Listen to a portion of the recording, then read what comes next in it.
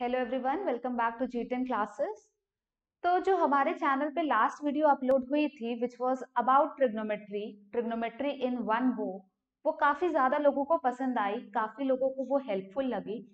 तो उस चीज़ को ध्यान में रखते हुए ये भी रियल हमें ये रियलाइज़ हुआ कि बहुत सारे लोगों को कोऑर्डिनेट ज्योमेट्री नाम की यूनिट में भी प्रॉब्लम आ रही होगी, क्योंकि ये भी एक बहुत बड़ी सी यूनिट है फॉर क्लास इलेवेंथ क्योंकि कोऑर्डिनेट ज्योमेट्री से बहुत कम बच्चे अवेयर होते हैं बिकॉज़ टिल क्लास टेंथ बहुत लिमिटेड सिलेबस होता है कोऑर्डिनेट ज्योमेट्री का।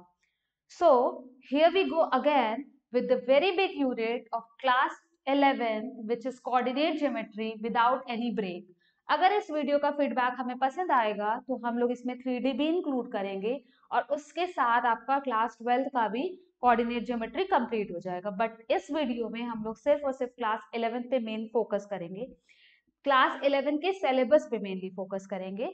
बाकी चीज़ें जो हम लोग पढ़ेंगे वो किसी भी एग्ज़ाम में पूछी जा सकती है। ओके तो सबसे पहले हम लोग देखते हैं कि हमें कौन कौन से चैप्टर्स इस पर्टिकुलर यूनिट में पढ़ना है। रिव्यू ऑफ़ पार्टीशन सिस्टम बहुत बेसिक सा चैप्टर है। Straight line circle parabola ellipse and hyperbola तो हम लोग बिना किसी देरी के शुरू करते हैं। The very first chapter which is review of Cartesian system Cartesian system से तो आप सब लोग अवेयर होंगे। उम्मीद करते हैं कि आप लोग कार्टिशियन सिस्टम में बेसिकली आपको क्या पता होना चाहिए? आपको पता होना चाहिए क्वाड्रेंट्स क्या होते हैं। आपको पता होना चाहिए एक्सिस क्या होता है। किसी एक पर्टिकुलर पॉइंट का कोऑर्डिनेट क्या होता है? कोऑर्डिनेट का रिप्रेजेंटेशन क्या होता है? अलॉन्ग विद दैट कोऑर्डिनेट का जब आप रिप्रेजेंटेशन करेंगे तो हर क्वाड्रेंट में कोऑर्डिनेट्स का क्या क्या साइन होता है। ठीक है? तो एक बार हम लोग क्विकली देख लेते हैं। ये हमारी क्या होती है कि X axis mutually perpendicular X and Y axis divide a plane into four quadrants ये आपकी होती है एक्स एक्सिस और ये आपकी होती है वाई एक्सिस इसने क्या किया? इसने पूरे प्लेन को चार क्वाड्रेंट्स में डिवाइड कर दिया। ये हो गया आपका फ़र्स्ट क्वाड्रेंट ये हो गया आपका सेकंड क्वाड्रेंट ये हो गया थर्ड क्वाड्रेंट और ये हो गया आपका फोर्थ क्वाड्रेंट किसी एक पर्टिकुलर पॉइंट को हम लोग रिप्रेजेंट करते हैं कैसे? उसके X coordinate comma Y coordinate से. वाई कॉमा एक्स नहीं कर सकते, यहाँ पे ऑर्डर मैटर करता है. अब डिपेंडिंग अपॉन कि वो पर्टिकुलर पॉइंट आपका किस क्वाड्रेंट में लाई कर रहा है, वहाँ पे एक्स और वाई का साइन होता है. फ़र्स्ट क्वाड्रेंट में प्लस एक्स भी होता है और प्लस वाई भी होता है। सेकेंड क्वाड्रेंट में एक्स नेगेटिव होता है, बट वाई पॉजिटिव होता है। थर्ड क्वाड्रेंट में X negative and Y negative. Fourth quadrant में X positive, Y negative. That means कि ये आपकी पॉजिटिव एक्स एक्सिस है, ये आपकी नेगेटिव एक्स एक्सिस है, ये पॉजिटिव वाई एक्सिस है और ये नेगेटिव वाई एक्सिस है। तो ये होता है आपका कि आपको पता होना चाहिए कि अगर आपको पॉइंट दे दिया जाए कि the point is three comma minus two तो आप बता सकते हैं कि वो किस पर्टिकुलर क्वाड्रेंट में लाई करेगा। क्या होगा? एक्स पॉजिटिव है और वाई नेगेटिव है। दैट मीन्स ये कहाँ लाई करेगा? फोर्थ क्वाड्रेंट में लाई करेगा। तो ये बेसिक चीज़ आपको पता होनी चाहिए। तो आप इसको भी एक, वैसे तो इसको भी आप लोग नोट डाउन कर ही लीजिए, क्योंकि एक आइडिया रहना चाहिए। उसके बाद अब हम लोग मेन उस पर आते हैं। ये क्योंकि बेसिकली ये चीज़ें आपको टेंथ में ही पता होती हैं बट फिर भी जब भी पढ़ना शुरू करना चाहिए तो एक ज़ीरो से ही शुरू करना चाहिए। तो जो सबसे पहली चीज़ यूज़ होगी वो आपकी distance between distance between two points अगर आपके दो पॉइंट्स दिए हुए हैं तो उनके बीच में क्या डिस्टेंस होगा? मान लीजिए कि एक पी पॉइंट दिया है X one comma Y one और एक क्यू पॉइंट दिया हुआ है X two comma Y two P Q के बीच में डिस्टेंस कितना होगा? पी क्यू के बीच में डिस्टेंस होगा under root X two minus X one का होल स्क्वायर मतलब difference between the abscissa of both the coordinates का square plus difference between the ordinate of both the coordinates का square this is the distance between required distance between two points उसके बाद होता है area of the triangle area of the triangle में question कैसा आता है? कि सपोज़ आपको तीन कोऑर्डिनेट्स दे दिया, बोल दिया कि एरिया निकालो, या बोल दिया कि तीन पॉइंट्स दिए prove that the points are collinear या पॉइंट्स में कुछ अननोन है और बोल दिया कि points are collinear find the value of that unknown तो वहाँ पे सिंपल एक कॉन्सेप्ट यूज़ होता है कि अगर आपका जो ट्रांगल है, वो बोला गया है कि उसके तीन कोऑर्डिनेट्स हैं ए बी सी ये है X one comma Y one ये है आपका X two comma Y two ये है आपका X three comma Y three तो area of the triangle is half X one Y one one X two Y two one X three Y three one जब आप इसको evaluate करेंगे तो ये क्या आएगा? X one Y two minus Y three अच्छा इसको याद करने की ज़रूरत नहीं है। देखिए क्या करना है आपको। एक्स वन लिया आपने, ये वाली कॉलम और ये वाली रो को छोड़ दिया। उसके ये Y two into one minus Y three into one फिर बीच वाला माइनस में होता है। माइनस एक्स टू ये लिया एक्स टू ये वाली रो छोड़ दिया, ये वाला कॉलम छोड़ दिया। Y one minus Y three Y one minus Y three plus X three ये प्लस में, ये माइनस में, ये प्लस में। अब ये वाली रो ये वाला कॉलम छोड़ दिया। Y one minus Y two ये हो गया आपका एरिया ऑफ़ द ट्रांगल अगर आप इसको इवेल्युएट करना सीख गए हैं तो सिंपली आप ये वाला फॉर्मूला याद करिएगा. ये मत याद करिएगा. वाई बिकॉज़ इसमें थोड़ा सा आपको कंफ्यूजन हो सकता है. ठीक है? तो ये हो गया आपका, शायद ये आपको विजिबल नहीं है. मैं यहाँ पे लिख देती हूँ. Half X one Y two minus Y three minus X two Y one minus Y three plus X three Y one minus Y two ये हो गया आपका area of the triangle half को मत निग्लेक्ट करिएगा हाफ़ बहुत ज़रूरी है। अब इसी पे अगर क्वेश्चन आए कि you have to prove that these particular points are collinear x1 comma y one x two comma y two and x three comma y three are collinear तो आप ये कैसे प्रूव करेंगे? आप अगर पॉइंट्स कोलिनियर हैं दैट मीन्स कि उनसे वो एक स्ट्रेट लाइन पे लाई कर रहे हैं। अगर एक स्ट्रेट लाइन पे लाई कर रहे हैं तो उनसे कोई ट्रांगल कभी भी बनेगा नहीं। अगर ट्रांगल नहीं बनेगा तो अगर आप ये प्रूव कर दें कि एरिया ऑफ़ ट्रांगल ज़ीरो है तो इसका मतलब क्या हुआ कि पॉइंट्स आर कोलिनियर तो बेसिकली क्वेश्चन कोलिनियरिटी पे ही आता है कि आपको तीन पॉइंट्स दे दिया। You have to prove the points that the points are collinear या तो पॉइंट्स में कुछ के एक्स के टर्म्स में दे दिया and you have to find the value of that K for which the points are collinear तो आप सिंपली क्या करिएगा? इस चीज़ को ज़ीरो करिएगा और जैसे ही ये ज़ीरो आएगा, आपका प्रूफ हो जाएगा कि पॉइंट्स आपके कोलिनियर है। तो अभी तक हम लोगों ने दो चीज़ें देखी distance between two point and area of the triangle अब हम लोग आगे देखते हैं। आगे है आपका सेक्शन फॉर्मूला ये सारी चीज़ों से हो सकता है कि आप लोग अवेयर हो। नहीं है तो हो जाएँगे। नोट डाउन बस करते जाइएगा।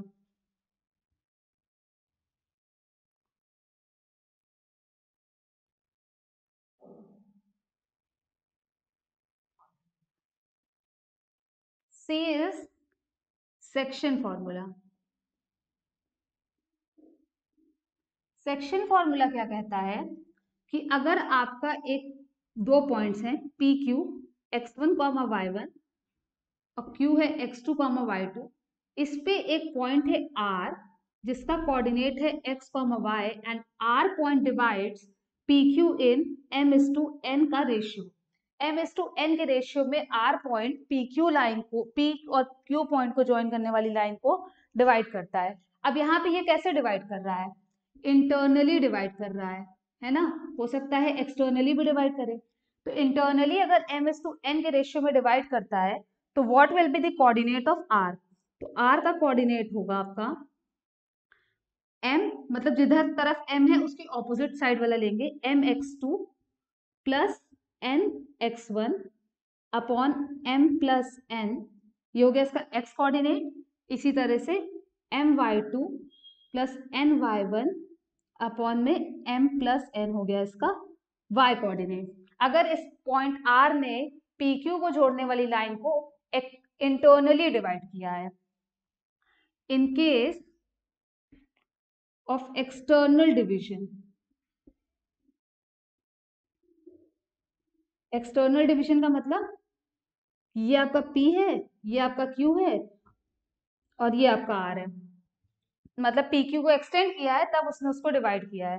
तो उस केस में जो आर होगा, वो होगा M X two minus N X one upon में M minus N comma simple बस माइनस हो जाता है और कुछ नहीं होता। है एम माइनस एन कहाँ पे? In case of external division और ये प्लस है अगर तो ये हो जाएगा in case of internal division तो ये आ गया आपका कि पॉइंट्स का मतलब ये इसको बोलते हैं वैसे सेक्शन फॉर्मूला अगर सेक्शन फॉर्मूला में बोल दिया जाए कि R is the mid point of the line joining P Q mid point है तो उसका क्या मतलब हुआ? अगर मिड पॉइंट है तो सिंपल क्या हुआ कि उसको वन इज़ टू वन के रेशियो में डिवाइड किया होगा तो वो हो जाएगा आपका X one plus X two upon two X coordinate और Y one plus Y two upon two उसका हो जाएगा वाई कोऑर्डिनेट ये था आपका सेक्शन फॉर्मूला सेक्शन फॉर्मूला के साथ साथ, अब आगे जब ये नोट डाउन कर लीजिए सेक्शन फॉर्मूला काफ़ी इंपॉर्टेंट है। बस इसमें एक चीज़ यह ध्यान रखिएगा। मान लीजिए आपको P दिया है, Q दिया है, R दिया है, सब कुछ दिया है और बोल दिया जाए you have to find the ratio तो जब भी आप रेशियो लेट करिएगा ना तो रेशियो को लेट हमेशा करिएगा लैमडा इज़ टू वन वो लैमडा खुद ब खुद एम एस टू एन के फॉर्म में आ जाएगा। एल्स आपको दो इक्वेशन बनानी पड़ेगी, काफ़ी कॉम्प्लिकेटेड हो जाता है। तो रेशियो को हमेशा लैमडा इज़ टू वन ही लेट करिएगा। इसको आप लोग एक बॉक्स बना के नोट डाउन कर लीजिए। इसके बाद आता है आपका कि आपको निकालने को बोल दिया जाता है सेंट्रॉइड निकालने को बोल सकता है, या तो incentre of a triangle निकालने को बोल सकता है, ये सारी चीज़ें। तो ऐसे तो कोई बहुत बड़ी सी चीज़ नहीं है सिंपल सा एक फॉर्मूला है, वो भी आप लोग नोट डाउन कर ही लीजिए।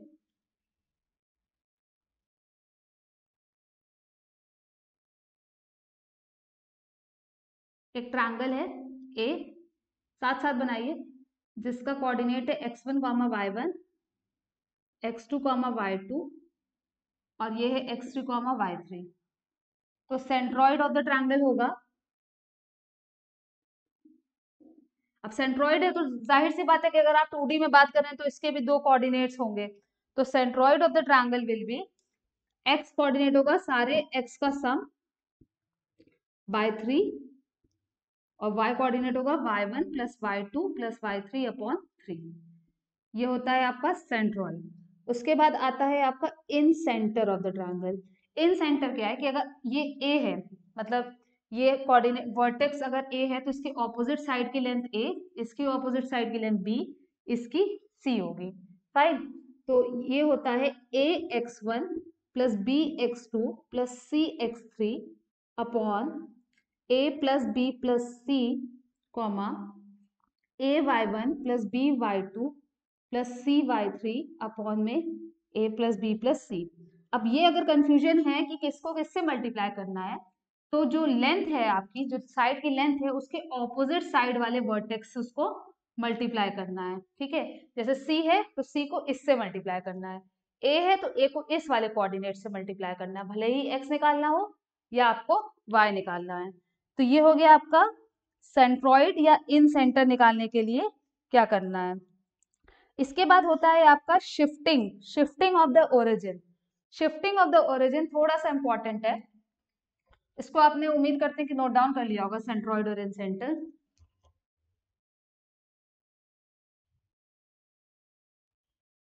shifting of the origin में क्या होगा? Shifting of the origin. मान लीजिए कि ये आपका कोऑर्डिनेट सिस्टम था, जहाँ पे ये एक्स एक्सिस थी, ये वाई एक्सिस थी, ये एक, यहाँ पे कोई भी एक पॉइंट लाई कर रहा था पी पॉइंट ठीक है? एक्स कॉमा वाई फाइन अब आपका ओरिजिन ये था, ये ओरिजिन के रेफरेंस में सारे डिस्टेंसेस मेजर किए होंगे। अब हमने क्या किया कि ओरिजिन को एच डिस्टेंस आगे और के डिस्टेंस ऊपर शिफ्ट कर दिया। मतलब कुछ आपका अब नया कोऑर्डिनेट सिस्टम जो हुआ x comma x comma capital y इसमें क्या किया हमने? ओरिजिन को एच डिस्टेंस आगे और के डिस्टेंस ऊपर शिफ्ट कर दिया। तो अब यहाँ पे जो पी पॉइंट का नया कोऑर्डिनेट मतलब पी पॉइंट का जो कोऑर्डिनेट है, वो नए कोऑर्डिनेट सिस्टम में क्या होगा? वो पी होगा capital x comma capital y मतलब अब ये पी डैश हो जाएगा capital x comma capital y जहाँ पे कैपिटल एक्स होगा स्मॉल एक्स माइनस एच और कैपिटल वाई होगा स्मॉल वाई माइनस के मतलब न्यू कोऑर्डिनेट सिस्टम में एक्स की value is equal to old coordinate system में एक्स की वैल्यू माइनस एक्स में हमने कितना शिफ्ट किया है? सिमिलरली फॉर वाई कोऑर्डिनेट ये होता है आपका shifting of origin shifting of origin में क्वेश्चन कैसे दे देगा कि मान लिया कि आपको एक इक्वेशन दे दिया है x square plus two x plus three. और बोला है कि हमने एक्स ओरिजिन को टू कॉमा थ्री से शिफ्ट कर दिया मतलब एच की वैल्यू टू है और वाई, के की वैल्यू थ्री है। तो आपको सिर्फ़ स्मॉल एक्स की जगह क्या रखना है? कैपिटल एक्स प्लस टू और स्मॉल वाई मतलब इसकी जगह रखना है आपको कैपिटल वाई प्लस के ये हो जाएगा कैपिटल एक्स प्लस एच का whole square plus two times capital x plus h plus three. अब यहाँ से आपको एच कॉमा के की वैल्यू दी रहेगी। आपने क्या किया? पुराने कोऑर्डिनेट सिस्टम में जो भी आपका कर्व था, उसको आपने नए कोऑर्डिनेट सिस्टम में जो कि ओरिजिन को शिफ्ट करके बना था, उसमें चेंज कर दिया है। So this was all about this very first chapter of coordinate geometry which is review of cartesian system ये तो काफ़ी मतलब बेसिक सा था कि आपको कोऑर्डिनेट सिस्टम से अवेयर कराया जाए। मेन चैप्टर्स आपके यहाँ स्ट्रेट लाइन से शुरू होते हैं। तो चलिए पहले इसको नोट डाउन कर लीजिए, फिर हम लोग स्ट्रेट लाइन को देखते हैं। Moving on towards the second chapter of coordinate geometry of class 11th syllabus, which is the straight line. तो स्ट्रेट लाइन सबसे ज़्यादा इंपॉर्टेंट चैप्टर है बिकॉज़ कि स्ट्रेट लाइन ये सारे चैप्टर्स में इंक्लूडेड रहेगा। इन सारे चैप्टर्स में कहीं ना कहीं स्ट्रेट लाइन का कोई ना कोई कॉन्सेप्ट यूज़ ज़रूर होगा। तो स्ट्रेट लाइन को शुरू करने से पहले, जैसे कि कार्टिशियन सिस्टम को शुरू करने से पहले आपको पता होना चाहिए था कि क्वाड्रेंट क्या होते हैं, किस क्वाड्रेंट में कौन सा कोऑर्डिनेट पॉजिटिव होता है, क्या रिप्रेजेंटेशन होता है। उसी तरह से स्ट्रेट लाइन को शुरू करने से पहले द वेरी बेसिक टर्म जो आपको पता होना चाहिए इज़ स्लोप कि एक स्ट्रेट लाइन का स्लोप क्या होता है। स्लोप को सबसे पहले हम लोग रिप्रेजेंट करते हैं एम से and slope is the tan of angle made with the positive direction of the x axis मतलब थीटा क्या है angle made with the angle made between या angle between the line and positive direction of x axis positive direction of x axis यहाँ पे जो angle बनेगा, उसको बोलते हैं theta and tan of that particular angle is slope of the line that means कि अगर ये है कुछ और यहाँ पे ये थीटा एंगल बन रहा है तो आपसे पूछा जाए कि slope of A B slope of A B क्या होगा? टैन थीटा अब बाय द वे आपको ये एंगल ना दिया हो, ये एंगल नहीं दिया है और आपको बोला जाए कि यहाँ पे एक पॉइंट लाई करता है x one comma y one और यहाँ पे दूसरा पॉइंट लाई करता है x two comma y two और यहाँ पे थीटा आपको नहीं दिया तो मतलब स्लोप निकालने के कई सारे तरीके हो सकते हैं। माइट भी पॉसिबल आपको एंगल ना दिया हो, क्योंकि सिंपल नहीं है ना कि एंगल दे दिया 120 डिग्री और बोल दिया स्लोप निकालो, पाँच नंबर आपको मिल गया। दो पाँच नंबर इसमें भी नहीं मिलेगा बट स्टिल ये बहुत ज़्यादा सिंपल तरीका हो गया। तो स्लोप निकालने का ये भी तरीका होता है कि difference of the ordinates y two minus y one upon difference between the abscissa अब ज़रूरी है, ये नहीं है कि हो सकता कि ये आप, ये वाला पॉइंट जो है आपका क्यू पॉइंट ये आप एक्स वन वाई वन मान लें और ऊपर वाला एक्स टू वाई टू मान लें। तो सिमिलर ऑर्डर में बस आप ऑर्डर ध्यान रखिएगा कि अगर वाई टू में से वाई वन घटा रहे हैं तो एक्स में भी एक्स टू माइनस एक्स ही होगा। तो स्लोप निकालने का ये दूसरा तरीका होता है कि अगर आपको सिंपल लाइन पे लाई करने वाले दो पॉइंट्स दे दिया जाए, ठीक है? तो ये हो गया स्लोप कॉन्सेप्ट देखिए। Two parallel lines, two parallel lines have same slope. अगर दो लाइंस पैरेलल हैं तो उनका स्लोप बराबर होगा। मतलब कि अगर एक लाइन और हम यहाँ ड्रॉ कर लें सी डी और ये सी डी जो है वो ए बी के पैरेलल है दैट मीन्स की slope of A B slope of C D के बराबर होगा। ज़ाहिर सी बात है कि हम लोगों ने देखा ही है ये दो पैरेलल लाइंस हो गई, ये ट्रांसवर्सल हो गई तो दोनों एंगल बराबर हो गए। If two lines are perpendicular if two lines are perpendicular तब क्या होगा? मतलब कि अगर ये हमारी एक ए बी लाइन है और ये हमारी सी डी लाइन है, ठीक है? तो इन दोनों के स्लोप के बीच में क्या रिलेशन होगा? Slope of A B into slope of C D, ये होगा आपका माइनस वन। ये रिलेशन काफ़ी इंपॉर्टेंट है कि product of the slopes of two perpendicular lines is equal to one यहाँ तक आपको क्लियर होगा। इसके बाद क्या है कि अब हम लोग देखते हैं कि स्ट्रेट लाइंस की इक्वेशन क्या होती है। इतना आप लोग नोट डाउन करिएगा, क्योंकि यहाँ पे कोई कंफ्यूजन नहीं होना चाहिए, क्योंकि स्लोप हम हर जगह पे यूज़ करेंगे। अब बारी आती है कि अभी तो सिंपल लाइंस देखते हैं कि मान लीजिए लाइन आपकी एक्स एक्सिस के पैरेलल है लाइन आपकी वाई एक्सिस के पैरेलल है तो क्या होगा? क्वेश्चंस दो इस पे नहीं आते हैं बट कहीं ना कहीं ये कॉन्सेप्ट इंक्लूड करके क्वेश्चंस आते हैं। डायरेक्टली क्वेश्चन नहीं आएगा बट यूज़ ज़रूर होगा। तो equation of line parallel to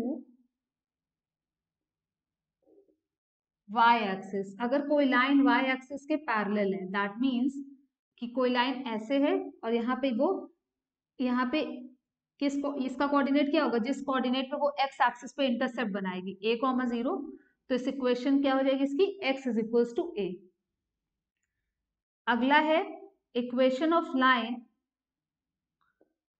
parallel to x axis कोई लाइन आपकी एक्स एक्सिस के पैरेलल है मतलब कुछ ऐसा कह सकते हैं। तो यहाँ पे मान लीजिए ये क्या इंटरसेप्ट होगा? ज़ीरो कॉमा बी तो इस लाइन की इक्वेशन इसे लिख लेते हैं। ये ए बी लाइन की equation x is equal to a और सी डी की इक्वेशन क्या होगी? Y is equals to b मतलब उल्टा होता है कि अगर लाइन आपकी y एक्सिस के पैरेलल तो आप उसको x के टर्म्स में रिप्रेजेंट करेंगे और x एक्सिस के पैरेलल है तो आप उसको y के टर्म्स में रिप्रेजेंट करेंगे। उसके बाद अगला क्या है? इक्वेशन ऑफ़ x एक्सिस अब एक्स एक्सिस की इक्वेशन क्या होगी? एक्स एक्सिस की भी तो कोई ना कोई इक्वेशन होती होगी, क्योंकि एक्स एक्सेस की ये इक्वेशन होगी कि आपको पता दिख रहा होगा कि एक्स एक्सेस पे पड़ने वाले हर पॉइंट का वाई कोऑर्डिनेट ज़ीरो होता है। तो equation of x axis is y is equal to zero similarly equation of y axis is x is equal to zero तो ये कुछ बेसिक इक्वेशन है कि कहीं पे बोल दिया कि line is parallel to x axis and cuts at cuts the intercept at y is equal to four तो इक्वेशन हो जाएगी उसकी y is equal to four अब हम लोग आते हैं और इक्वेशंस देखते हैं। ठीक? अब स्ट्रेट लाइन की बहुत तरह से इक्वेशन निकाली जाती है और एक फॉर्म से दूसरे फॉर्म में उसको कन्वर्ट कर लिया जाता है। इतना आप लोग नोट डाउन करते चलिएगा। ये सारे कॉन्सेप्ट्स आपके यूज़ होंगे। दैट्स इट एकदम कंप्लीटली इस पे क्वेश्चन बेस्ड नहीं आता है। अब सबसे पहला form of straight line is slope intercept form slope intercept form slope intercept form का मतलब क्या हुआ कि आपकी जो भी स्ट्रेट लाइन है, मैं एक जनरल डायग्राम बना लेती हूँ। ये एक स्ट्रेट लाइन है। मान लीजिए कुछ ऐसे। ठीक? ये वाई एक्सिस पे कितने डिस्टेंस पे इंटरसेप्ट कर रही है? सी डिस्टेंस पे इंटरसेप्ट कर रही है, मान लीजिए। और ये इसका थीटा है तो ज़ाहिर सी बात है कि ए बी लाइन का हमको स्लोप पता होगा। माइट बी पॉसिबल कि ए बी यहीं तक लाइन दी हो। तो जो यहाँ का भी, अगर यहाँ का भी मतलब ये ए बी है तो ज़ाहिर सी बात है सेम ही स्लोप होगा। आप एक्सटेंड कर लीजिए स्लोप हमेशा सेम ही बनेगा। तो इक्वेशन होती है आपकी y equals to m x plus c where c is intercept on y axis क्या है? इंटरसेप्ट ऑन वाई एक्सिस अगर वो पॉजिटिव डायरेक्शन में काट रही है तो प्लस सी और अगर नेगेटिव पे काट रही है तो minus c intercept on y axis अब बात आती है कि स्लोप पे, अगर आपका थीटा ज़ीरो से लेके 90 के बीच में है तो स्लोप आपका पॉजिटिव होगा. लेकिन अगर जैसे ही थीटा आपका 90 से ज़्यादा होगा स्लोप आपका नेगेटिव होने लगेगा. वाई क्योंकि थीटा जैसे ही 90 से ज़्यादा होगा, वो सेकंड क्वाड्रेंट में लाई कर रहा होगा पॉइंट और पॉइंट अगर आपका सेकेंड क्वाड्रेंट में लाई कर रहा है तो इसका मतलब क्या हुआ कि सेकेंड क्वाड्रेंट में टैन कैसा होता है? नेगेटिव होता है। तो वहाँ पे स्लोप आपका नेगेटिव हो जाएगा। तो अब आपको क्वेश्चन में किसी भी तरह का मतलब एंगल आपको 90 दे 180 दे 60 दे 70 दे, आप टैन ऑफ़ दैट एंगल निकालिए, आपको स्लोप पता होगा और इंटरसेप्ट आपको दिया होगा। नहीं दिया होता है, मान लीजिए इक्वेशन दे दिया और बोला कि इंटरसेप्ट निकालो। इससे कंपेयर भी कर सकते हैं आप कि जो भी कांस्टेंट टर्म होगा वो आपका इंटरसेप्ट होगा। नहीं तो एक्स कोऑर्डिनेट को ज़ीरो रखिए, क्योंकि वो वाई एक्सिस पे इंटरसेप्ट है। वहाँ से जो भी वाई की वैल्यू आए एक्स को ज़ीरो रखने के बाद वो आपका इंटरसेप्ट हो जाएगा। अगला फॉर्म है आपका point point slope form point slope form अब आपको क्या होगा कि आपको इंटरसेप्ट नहीं दिया होगा बट मतलब अब आपको ये सी नहीं दिया हुआ है। बट इस पे लाई करने वाला एक पॉइंट दिया। आपको अलग अलग डायग्राम हर के लिए बनाना होगा कि अब आपको लाइन का जो है वो स्लोप दिया हुआ है एंड अलोंग विथ स्लोप आपको दिया हुआ है कि वो लाइन पे लाई करने वाला एक पर्टिकुलर पॉइंट तो वहाँ पे इक्वेशन हो जाएगी y minus y one is equal to m x minus x one ठीक? ये हो जाएगी आपकी पॉइंट स्लोप फॉर्म कि आपको स्लोप दिया है। अलोंग विथ स्लोप आपको लाइन पे लाई करने वाला एक पर्टिकुलर कोऑर्डिनेट दिया हुआ है, एक पर्टिकुलर पॉइंट का कोऑर्डिनेट दिया हुआ है। तो equation of line will be y minus y one is equal to m into x minus x one ये हो गया आपका दूसरा फॉर्म इसको नोट डाउन करिए, फिर हम लोग तीसरा फॉर्म देखते हैं which is two point form अब टू पॉइंट फॉर्म में क्या होगा कि ना ही आपको स्लोप देगा, ना ही आपको इंटरसेप्ट देगा बस आपको क्या दिया होगा, उस पर्टिकुलर लाइन पे लाई करने वाला कोई भी दो पॉइंट का कोऑर्डिनेट दिया होगा। मतलब कुल मिला के आपको सब कुछ खुद से निकालना है। अच्छा दो पॉइंट दिया है तो आप स्लोप तो खुद ब खुद निकाल सकते हैं। और अगर आपने स्लोप निकाल लिया तो पॉइंट स्लोप फॉर्म आप यूज़ भी कर सकते हैं। दैट मीन्स आपकी एक स्ट्रेट लाइन है, जहाँ पे दो पॉइंट्स है ए बी ए का कोऑर्डिनेट है x one comma y one और बी का कोऑर्डिनेट है x two comma y two तो ए बी की इक्वेशन क्या होगी अब? Two point form two point form A B की इक्वेशन होगी, अगर आप वहीं से डिराइव करें तो ए बी की इक्वेशन होगी y minus y one is equal to m x minus x one अब यहाँ पे m तो दिया नहीं है मतलब हमें खुद से निकालना है। M क्या होता है?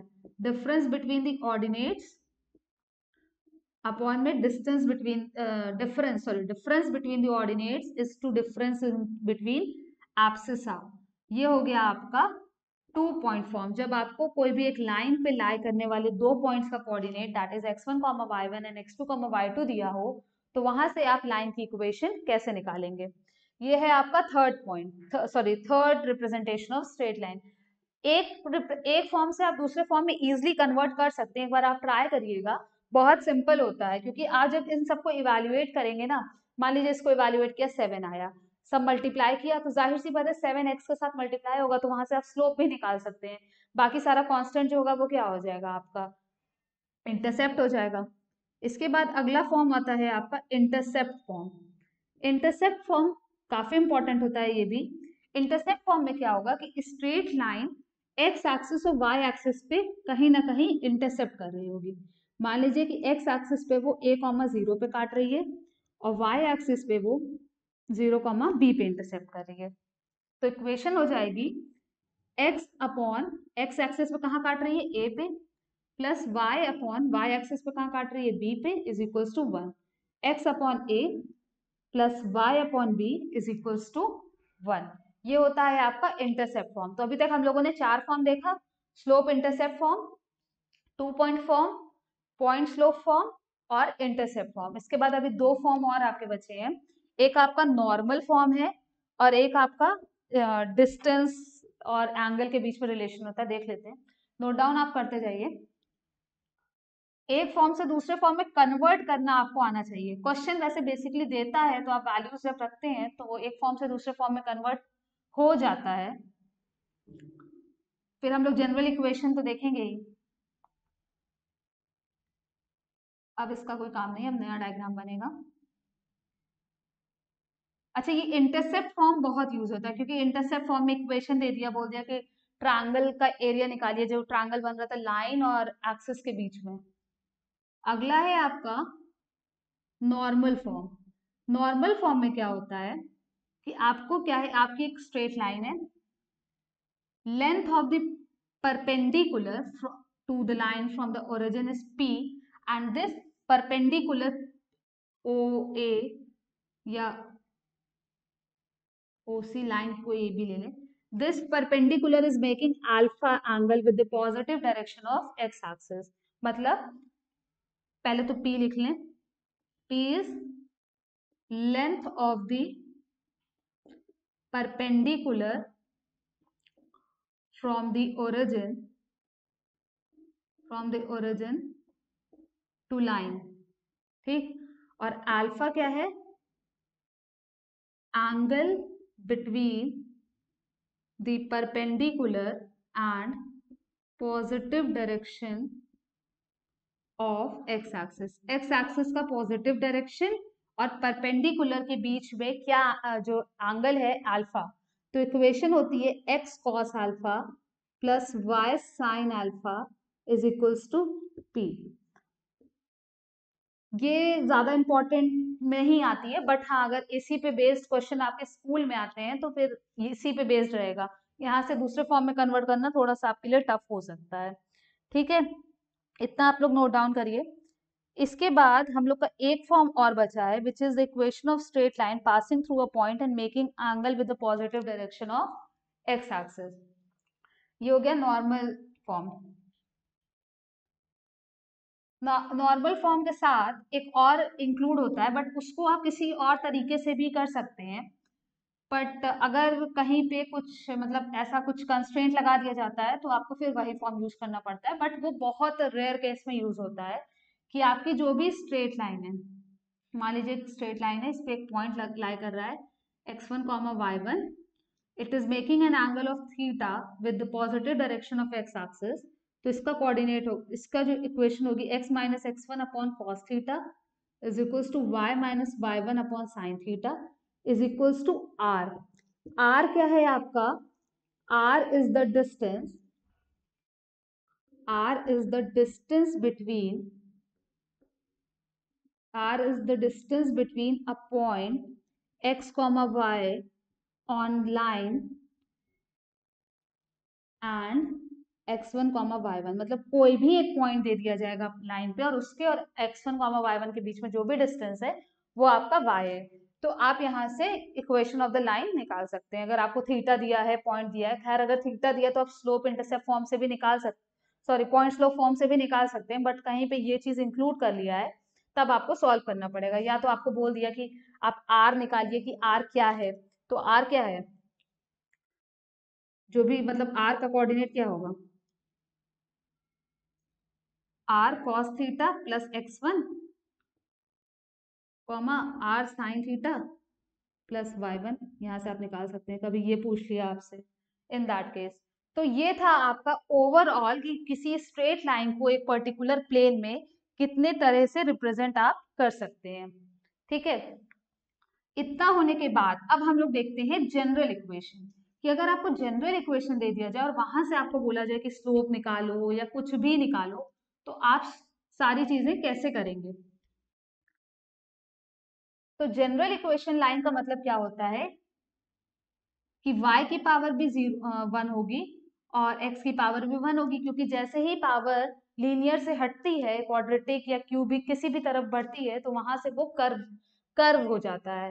फाइन तो अगर जनरल इक्वेशन है आपकी a x plus b y plus c is equals to zero तो यहाँ से अगर आपको बोला जाए कि you have to find the slope of a line तो इसको आप अगर आप स्लोप इंटरसेप्ट फॉर्म में चेंज करें तो हमें स्लोप इंटरसेप्ट फॉर्म क्या था? Y is equals to m x plus c तो आप ये लिख सकते हैं b y is equals to minus a x minus c y is equals to minus a upon b x minus c upon b ये हो गई आपकी इक्वेशन यहाँ से अगर आप कंपेयर करें तो slope is minus a upon b that is minus into coefficient of x upon में कोफिशियंट ऑफ़ वाई ये हो गया जनरल इक्वेशन से आप कैसे स्लोप निकाल सकते हैं। इंटरसेप्ट पूछेगा तो intercept is minus c upon b यहाँ तक हो गया। अब अगर आपको बोला जाए कि ये लाइन L1 है इक्वेशन ऑफ़ लाइन निकालना है आपको। Equation of line parallel to L1 तो अगर L1 के पैरेलल है तो बस क्या बराबर होगा? उसका स्लोप बराबर होगा इंटरसेप्ट कुछ भी हो सकता है। तो equation of the line will be a x plus b y plus c की जगह पे कोई और कांस्टेंट हो सकता है। ये हो जाएगा, अगर दो लाइन पैरेलल है तो एक्स का कोफिशियंट और वाई का कोफिशियंट दोनों बराबर होगा, बस जो कांस्टेंट वाला टर्म है, वो आपका चेंज हो जाएगा। बट अगर बोला जाए कि equation of a line perpendicular to the given line निकालना है तो वहाँ पे क्या होगा कि वहाँ पे आपका जो कोफिशियंट है वो चेंज हो जाएँगे। दैट इज़ कि अगर आपको बोला जाए कि equation of line perpendicular to L one आपको निकालना है तो वो हो जाएगा b x minus a y plus जो आपका कांस्टेंट है c is equal to zero क्यों चेंज हुआ? क्योंकि वहाँ पे क्या होता है? परपेंडिकुलर वाले केस में दोनों का प्रोडक्ट आपका हो जाता है। मतलब परपेंडिकुलर वाले केस में दोनों का आपका जो प्रोडक्ट होता है स्लोप का, वो माइनस वन होता है। तो पहले तो प्रोडक्ट वन करना है वन करना है, मान लीजिए। तो इंटरचेंज करना पड़ेगा। फिर माइनस वन है तो एक साइन माइनस भी लगेगा। और ज़रूरी नहीं कि ये सी हो, ये कोई भी कांस्टेंट हो सकता है, क्योंकि ये तो इंटरसेप्ट वैसे भी दिखाएगा। तो अगर लाइन एक गिवन लाइन है उसके पैरेलल किसी लाइन की इक्वेशन निकालनी है या दो लाइन दी है पता करना है पैरेलल है कि नहीं है तो you will compare only coefficient of x with coefficient of y या आप ये कर लीजिए कि स्लोप निकाल लीजिए दोनों का, देख लीजिए कि स्लोप बराबर है तो पैरेलल है। और अगर स्लोप्स का प्रोडक्ट माइनस वन है तो दोनों लाइन जो कैसी है, वो परपेंडिकुलर है। तो ये हो गया कि अगर आपको एक इक्वेशन ऑफ़ लाइन दिया हुआ है तो आप स्लोप निकाल सकते हैं, या उस पर्टिकुलर गिवन लाइन के पैरेलल कोई भी लाइन निकाल सकते हैं, या उस पर्टिकुलर लाइन के परपेंडिकुलर आप कोई भी लाइन निकाल सकते हैं। अब आता है कि आपको डिस्टेंस निकालना है। Distance of a point from a line एक चीज़ और मिस हो गई है आपकी। वो भी हम लोग देख लेंगे, कुछ मिस नहीं होगा आपका।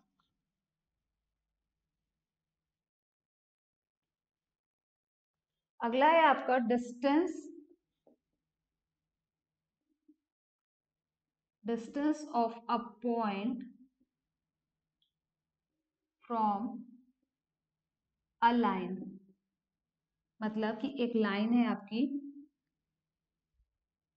a x plus b y plus c is equal to zero इस लाइन से एक p point x one comma y one का क्या डिस्टेंस होगा? अच्छा यहाँ पे कैसा डिस्टेंस निकलता है? परपेंडिकुलर डिस्टेंस पी एन मान लीजिए। तो पी एन क्या होता है? आपका देखिए पी एन निकलेगा कैसे?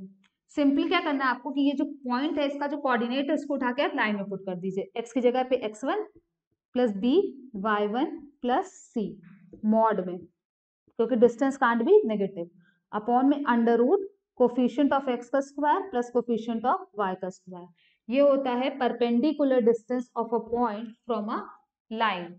ये क्या हो गया आपका? Distance between two points sorry, distance between a point and a line. इसके बाद आपका आता है कि दो पैरेलल लाइंस के बीच में आपका क्या डिस्टेंस होगा। इतना नोट डाउन पहले करिए। डिस्टेंस बिटवीन ये बहुत इंपॉर्टेंट होता है distance of a point from a line अगर आप टू पढ़ रहे हैं तो। थ्री में तो कुछ और चीज़ें भी आ जाएँगी बट अगर आप टू पढ़ रहे हैं तो दो पॉइंट के बीच में डिस्टेंस निकालना या एक फॉर्म ऑफ़ लाइन से दूसरे फॉर्म ऑफ़ लाइन में कन्वर्ट करना, जो कि हम लोगों ने सारी इक्वेशंस देख ली हैं, कैसे, कहाँ से क्या आता है तो कन्वर्ट करना थोड़ा सा सिंपल है आपके लिए बट आपको क्वेश्चंस करना पड़ेगा। Distance between two parallel lines अब दो लाइन पैरेलल है तो इक्वेशन क्या होगी? A x plus b y plus c one is equal to zero और इसकी इक्वेशन होगी a x plus b y plus c two is equal to zero तो डिस्टेंस होता है आपका, ये जो डिस्टेंस है mod of c two minus c one upon में under root a square plus b square अब क्या हो गया? मान लीजिए कि आपको इक्वेशन दिया जाए two x plus three y plus seven equal to zero और ये दिया जाए four x plus nine y plus ten equal to zero अब क्या आपको लगता है कि ये दोनों लाइन पैरेलल है? तो जी हाँ पैरेलल है। दो माना कि स्लोप कोफिशियंट्स आपके बराबर नहीं है बट स्लोप आपका बराबर है। कोफिशियंट्स बराबर भी हो सकते हैं कोफिशियंट्स प्रपोर्शनल भी हो सकते हैं। मतलब अगर हम इसमें से टू कॉमन निकाल लें तो क्या बचेगा? Two x plus three y plus five equal to zero हो गया कोफिशियंट बराबर। अब टू को आप उधर ले चलिए। तो बस ये बताने का मकसद ये था कि coefficients might be possible coefficients equal हो या कोफिशियंट्स आपके प्रपोर्शनल भी हो सकते हैं। तो यहाँ पे जो C1 है वो तो सेवन है। C2 आपका टेन ना लेके आप C2 फाइव लेंगे। मतलब इट्स योर रिस्पॉन्सिबिलिटी कि आप कोफिशियंट्स को बराबर करिए। क्योंकि अगर बराबर कोफिशियंट्स नहीं हुए तो आप ए और बी क्या लेंगे? ऊपर वाला लेंगे कि नीचे वाला लेंगे? लेकिन जब कोफिशियंट्स बराबर हो जाएँगे तो आप किसी का भी ए भी ले सकते हैं और आपका सी वन सी टू भी सेम आ जाएगा। तो ये लास्ट था आपका distance between two parallel lines एक चीज़ जो आपकी मिस हो गई, वो ये है कि अगर आपको दो लाइन दिया जाए और बोला जाए उन दोनों के बीच में क्या एंगल बन रहा है, ये भी तो पूछा जा सकता है कि दो लाइन के बीच में क्या एंगल बन रहा है। तो मान लीजिए कि एक लाइन ए बी है और एक लाइन सी डी है। इन दोनों के बीच में जो भी थीटा एंगल बन रहा है तो tan theta is mod of दोनों के स्लोप का डिफरेंस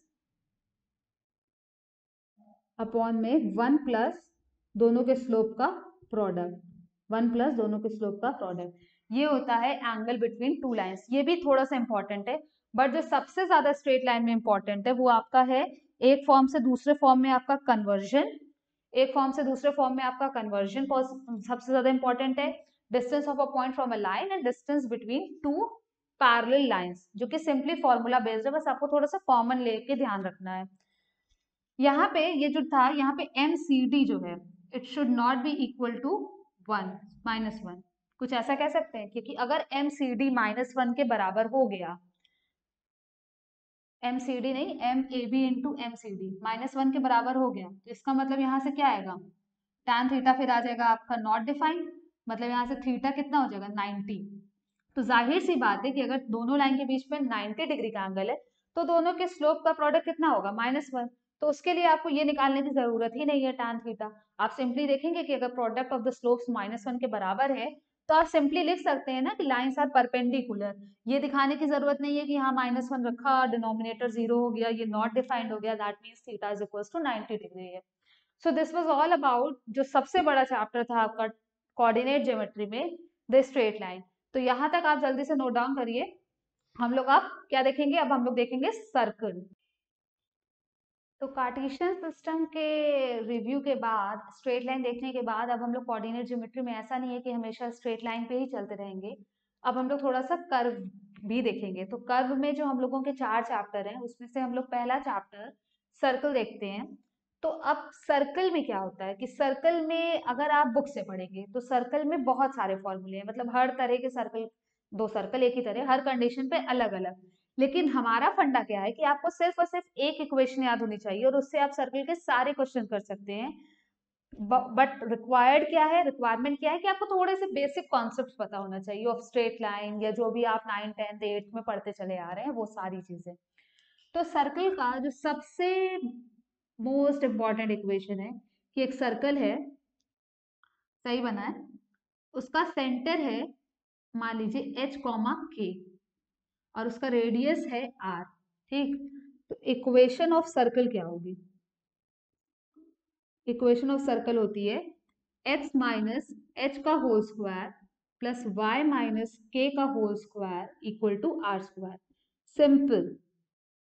इस इक्वेशन से सारा काम हो जाना है आपका। अब अगर आप केसेस देखना शुरू करिएँगे तो आपको केसेस क्या मिलेगा? कि पहला सेंटर इज़ एट ओरिजिन कोई दिक्कत नहीं है सेंटर ओरिजिन है, ठीक है एच कॉमा के को ज़ीरो रख दीजिए। X square plus y square क्या हो जाएगा आपका? आर स्क्वायर साथ साथ आप डायग्राम बनाते चलिए हम, कि सेंटर इज़ एट ओरिजिन मतलब कुछ ऐसा होगा आपका सर्कल ऐसा ही होना चाहिए। दूसरा बोल दिया कि सर्कल टचेस एक्स एक्सिस कोई दिक्कत नहीं है। सर्कल अगर आपका एक्स एक्सिस को टच कर रहा है, ये कोऑर्डिनेट क्या होगा इसका? एच कॉमा के होगा। ये कितना हो जाएगा? ये ये डिस्टेंस ये डिस्टेंस के होगा। बस आर की जगह पे आपको क्या रखना है? आर की जगह पे आपको के रखना है। बहुत सिंपल हो जाता है। Circle touches y axis circle touches both the axis तो आपको कुछ नहीं, अगर आप इसको उठा के आप वो क्वाड्रेंट्स वाले सिस्टम मतलब एक प्लेन में बना ले रहे हैं तो वो चीज़ें आपको खुद ब खुद दिखने लगेगी। Circle passes through the origin circle अगर ओरिजिन से पास कर रहा है तो एक बार एक्स और वाई के बीच में ज़ीरो रख दीजिए आप। एक्स और वाई में जब ज़ीरो रख देंगे तो r is equal square is equal to h square plus k square आ जाएगा। यहाँ पे इसको रख दीजिएगा। आर की कोई ज़रूरत ही नहीं पड़ेगी। सर्कल दोनों एक्सिस को टच कर रहा है सर्कल एक एक्सिस को टच कर रहा है सर्कल ओरिजिन से पास कर रहा है। सर्कल दो ओरिजिन से पास करते हुए दोनों एक्सिस पे इंटरसेप्ट काट रहा है, कोई दिक्कत नहीं। बट जो सबसे इंपॉर्टेंट इक्वेशन है मतलब सबसे जिससे सारा क्वेश्चन हो जाना है आपका, वो यही है इक्वेशन ऑफ़ द सर्कल जहाँ पे आपको सेंटर और रेडियस के बीच में मतलब सेंटर और रेडियस दोनों चीज़ें आपको दी रहती हैं। तो यहाँ से आप किसी भी तरह का कोई भी क्वेश्चन सर्कल से रिलेटेड कर ले सकते हैं बट आपको स्ट्रेट लाइन और बेसिक्स ऑफ़ मैथमेटिक्स ये आपको आना चाहिए। ठीक है, इसके बाद आता है कि ये तो आपकी होगी स्टैंडर्ड इक्वेशन स्टैंडर्ड इक्वेशन के बाद जनरल इक्वेशन आती है। जनरल इक्वेशन भी अगर आप लोग नहीं याद करेंगे तो चल जाएगा। जनरल इक्वेशन में क्या करेगा? कुछ नहीं करता है, इसको एक्सपांड कर देता है और एक्सपांड करके कुछ नए टर्म्स को इंट्रोड्यूस कर देगा। नए terms as in general equation लिख देगा। ए एक्स स्क्वायर प्लस या x square plus y square plus two g x plus two f y plus c is equals to zero ये आ गई आपकी जनरल इक्वेशन अब इसमें से बोलेगा कि अगर आपको जनरल इक्वेशन दे दिया जाए तो बोला गया कि आप इसका सेंटर निकालिए। तरीका नंबर वन कि आप सेंटर हमसे सीख लीजिए कैसे निकालना है। तरीका नंबर टू कि आप फॉर्मूला याद कर लीजिए। कि अगर आपको इस तरह की इक्वेशन देती है तो सेंटर कैसे नहीं निकलेगा? सेंटर क्या निकलेगा? कैसे निकलेगा और क्या निकला में बहुत बड़ा डिफरेंस होता है। कैसे निकलेगा अगर आपको आता है तो आप क्या तक तो पहुँच जाएँगे, लेकिन अगर आपको क्या निकलेगा पता है तो आप कैसे निकलेगा के चक्कर में नहीं पड़ेंगे। यहाँ पे आप method of completing the square आपने पढ़ा होगा। Method of completing the square से अगर हम लोग इस जनरल इक्वेशन को स्टैंडर्ड इक्वेशन में कन्वर्ट कर लें तो स्टैंडर्ड इक्वेशन से कंपेयर करके आप centre of the circle along with the radius of the circle निकाल सकते हैं। तो अगर हम लोग यहाँ पे देखें तो ये एक्स स्क्वायर है और ये टू जी एक्स है। मतलब कुछ एक्स प्लस जी के होल स्क्वायर में जाएगा। तो अगर हम इसको ये लिख दें एक्स प्लस जी का होल स्क्वायर तो यहाँ से क्या आएगा? X square plus g square plus two g x but एक जी स्क्वायर जैसे यहाँ पे कोई टर्म नहीं है तो हम यहाँ से जी स्क्वायर क्या करेंगे? घटा देंगे कि एक्स्ट्रा आ रहा है, हम घटा के बैलेंस कर दिया हमने। अब y देखेंगे तो ये इसको लिख सकते हैं, y प्लस एफ़ का होल स्क्वायर यहाँ से आएगा y square plus f square plus two f y तो यहाँ से भी एफ़ स्क्वायर एक्स्ट्रा आ रहा है तो यहाँ से भी एफ़ स्क्वायर घटा देंगे प्लस सी आएगा। सी तो खैर है ही। अब यहाँ से अगर आप देखें इसको तो x प्लस जी का whole square plus y plus f का whole square equal to g square plus f square minus c कुछ ये आया? तो अगर इसको आप, ये जो आपकी स्टैंडर्ड इक्वेशन थी, ये जो आपकी सॉरी जनरल इक्वेशन थी, इसको आपने किस फॉर्म में कन्वर्ट कर लिया? स्टैंडर्ड इक्वेशन में। तो यहाँ से जब आप इसको कंपेयर करेंगे तो सेंटर क्या आएगा? सेंटर आएगा आपका minus g comma minus f जिसको आप क्या लिख सकते हैं? अगर आपको याद करना है तो आप लिख सकते हैं minus half times coefficient of x minus one upon two times coefficient of x, comma minus one upon two coefficient of y. आप चाहिए तो आप इसको याद कर लीजिए, बट मुझे लगता है कि याद करने के लिए अभी बहुत चीज़ें मिलेंगी जो आपको याद ही करनी पड़ेंगी। तो इसलिए यहाँ से यहाँ आना इजी है ज़्यादा, क्योंकि आप बस ये याद करिए। उसके बाद अगर आप रेडियस देखें तो रेडियस क्या आएगा? Under root g square plus f square plus minus c यह आ जाएगा आपका रेडियस तो ये था आपका कि आपको अगर स्टैंडर्ड इक्वेशन दे या जनरल इक्वेशन दे, आप एक दूसरे से कन्वर्ट कर सकते हैं। तो याद क्या करना है आपको सिर्फ़? इक्वेशन ऑफ़ द सर्कल ये वाली इक्वेशन जो आपकी स्टैंडर्ड इक्वेशन है। स्टैंडर्ड इक्वेशन सिर्फ़ याद करने से आप सर्कल के मोस्टली क्वेश्चन आपके कंप्लीट हो सकते हैं। इसके बाद एक और टॉपिक है, वो है आपका diameter form of a circle diameter form of a circle मतलब क्या होता है कि अगर आपको सर्कल के मतलब कुछ ऐसा दे दिया जाए कि कुछ ये है? डायमीटर ऑफ़ द सर्कल है।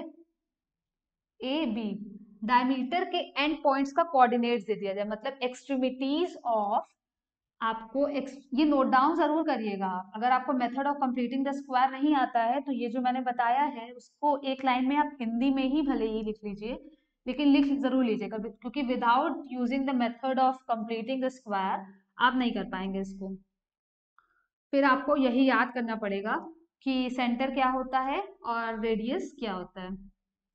अब इस वाले चीज़ को भी आप कर सकते हैं सिंपली स्टैंडर्ड इक्वेशन से। स्टैंडर्ड इक्वेशन से कैसे कर सकते हैं? मान लीजिए कि आपको डायमीटर के एंड पॉइंट्स दिए हुए हैं। मतलब ये x one comma y one दिया हुआ है और ये x two comma y two दिया हुआ है। अभी आपने हम लोगों ने देखा सेक्शन फॉर्मूला मतलब वन इज़ टू वन में डिवाइड करेगा तो आप मिड पॉइंट फॉर्मूला से ओ का कोऑर्डिनेट निकाल सकते हैं। मिड पॉइंट ओ निकल गया मतलब सेंटर निकल गया।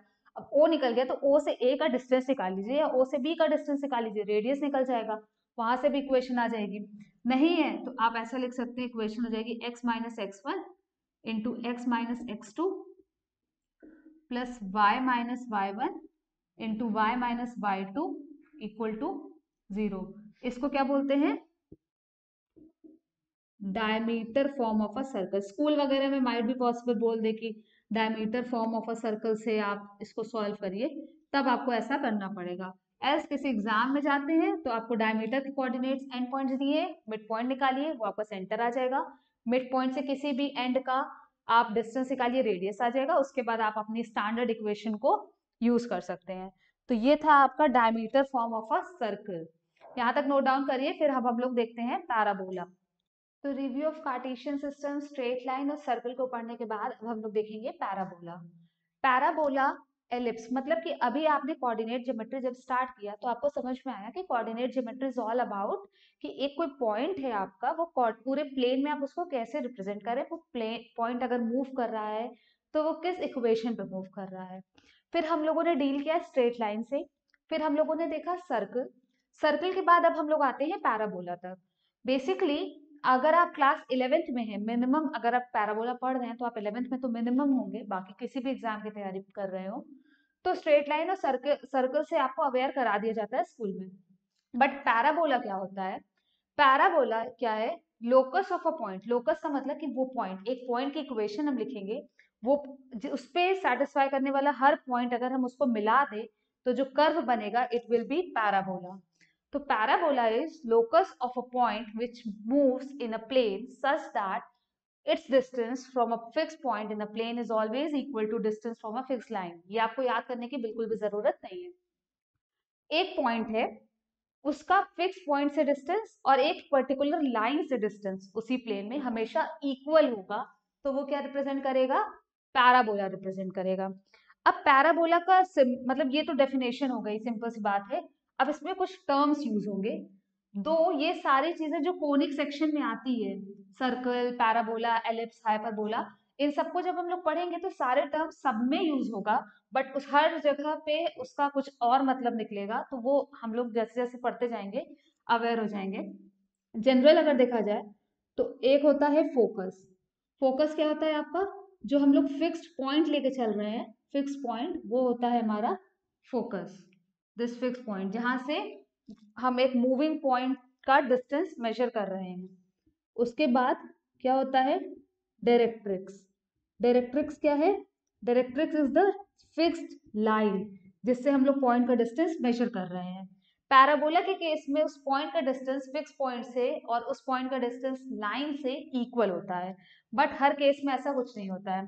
तो ये हो गया फोकस डायरेक्ट्रिक्स फिर होती है एक्सिस एक्सिस क्या है आपकी?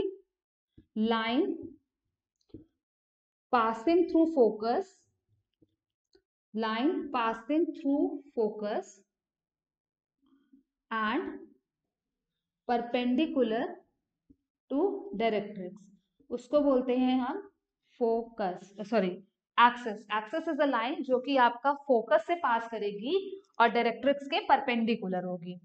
उसके बाद आता है सेंटर सेंटर वर्टेक्स और एक और टर्म भी देख रहे हैं। पहले वर्टेक्स देख ले। Vertex is the point of intersection point of intersection of conic section that is कि यहाँ पैराबोला या हाइपरबोला या कुछ भी। अभी हम लोग सब कुछ जनरल पढ़ रहे हैं।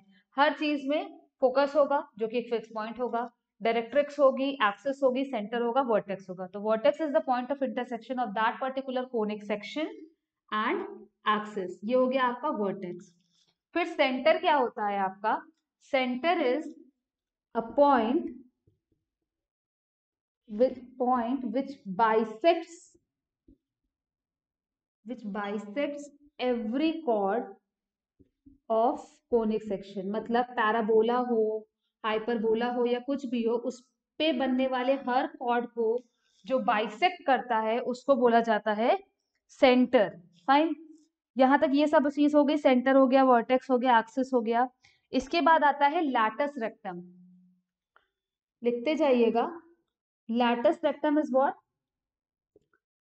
latus rectum chord ही होता है but chord passing through focus chord passing through focus ठीक है? तो लाटस रेक्टम को कह सकते हैं कि अगर फोकस से पास कर रही है तो latus rectum is the largest chord इसके अलोंग विद दीज टर्म्स एक सबसे इंपॉर्टेंट टर्म होता है विच इज़ इसेंट्रिसिटी इसेंट्रिसिटी क्या होता है?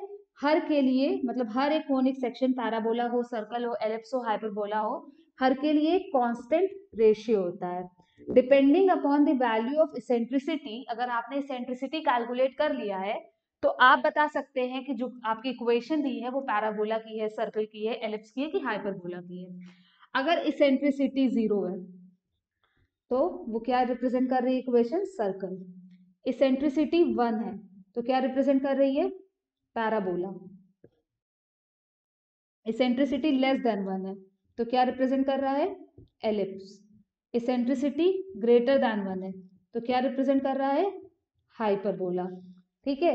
ये सबसे इंपॉर्टेंट चीज़ है ऑफ़ कोनिक सेक्शन की depending upon the value of eccentricity कि वो क्या है ज़ीरो है वन है वन से बड़ी है वन से छोटी है, आप बता सकते हैं कि कोई एक पर्टिकुलर इक्वेशन दी हुई है, कोई एक लोकस ऑफ़ अ पॉइंट दिया हुआ है तो वो पैराबोला है एलिप्स है कि हाइपरबोला है कि सर्कल है। तो इतना तो पहले नोट डाउन करिए, फिर हम लोग पैराबोला की इक्वेशन को डिराइव करते हैं। इतने के बाद ये सारे टर्म्स अब हम लोगों ने ये सारे जनरल टर्म्स देख लिए, ये सबका टर्म का मतलब तो वही होगा बट हाँ हो सकता है जैसे कि फोकस है पैराबोला का एक ही फोकस होगा।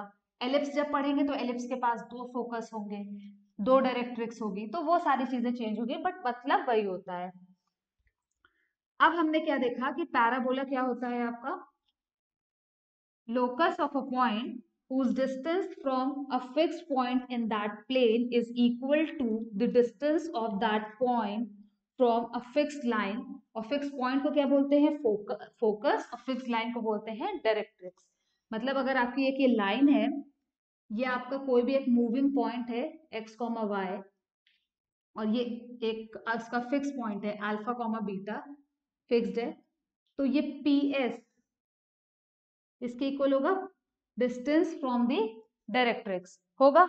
अगर आप डायरेक्ट्रिक्स की इक्वेशन डायरेक्ट्रिक्स दो ये जो भी लाइन है, कुछ भी लाइन हो सकती है A x plus B y plus C is equal to zero parabola के केस में क्या बोला गया? कि distance of this moving point is from that fix point is equal to distance of that moving point from the fixed line मतलब P S बराबर क्या होगा आपका? पी एम होगा? पी एस क्या होगा? Under root x minus alpha का whole square plus y minus beta का होल स्क्वायर पी एम क्या होगा? Distance of a point from a line A x plus B y plus C upon में under root A square plus B square तो आप याद करने की ज़रूरत नहीं है। अब आप इसको क्या करेंगे? स्क्वायर करेंगे दोनों साइड स्क्वायर करने के बाद आपको क्या करना होगा कि एक्स वाई के टर्म्स को अरेंज करेंगे। तो एक एक्स वाई के टर्म्स में आपको जनरल इक्वेशन मिल जाएगी। एक जनरल इक्वेशन जब मिल जाएगी तो यहाँ पे हमने पी एस को पीएम के बराबर किया है। अब जब यहाँ से आपको एक जनरल इक्वेशन मिल जाएगी, ये सिर्फ़ किसकी मिलेगी? पैराबोला की मिलेगी। लेकिन जनरली होता क्या है कि अगर आप एक फॉर्मूला लेके चलें कि जहाँ से आपको डिराइव करना हो तो P S upon P M ये हमेशा किसके बराबर होता है? इसेंट्रिसिटी के बराबर होता है। इन केस ऑफ़ पैराबोला हमारी इसेंट्रिसिटी वन है तो हम लोगों ने पी एस को पी एम के बराबर ले लिया है। ठीक है? अब आते हैं मेन मुद्दे पे कि पैराबोला की इक्वेशन होती क्या है। तो अगर एकदम लेमैन भाषा में बात करें तो x की पावर टू होगी तो y की पावर वन होगी। या तो y की पावर टू होगी तो x की पावर वन होगी। मतलब यहाँ पे लीनियर पावर नहीं चलेगी एक की पावर टू होगी। ठीक है? कुल मिला के एक की पावर कम एक की पावर ज़्यादा होगी। तो जनरल इक्वेशन पे हम लोग जल्दी से स्विच करते हैं और एक पर्टिकुलर इक्वेशन के लिए हम लोग देख लेंगे कि क्या होता है पैराबोला ठीक है?